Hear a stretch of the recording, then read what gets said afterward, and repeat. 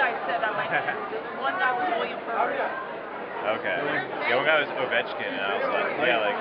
Oh, so that wasn't his name? No. Uh, yeah. like, I, uh, but yeah, I was thinking at the beginning, I was like, oh man, I should just like, I should have put some. That's awkward. They read William Herbert. I'm like, that is real name. I guess it's supposed to be. I don't know. So what they give you? What is that? Congratulations.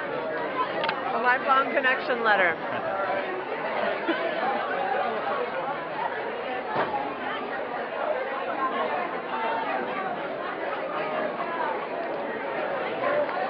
Yeah, so I guess they want to give you something like while you're on stage. So.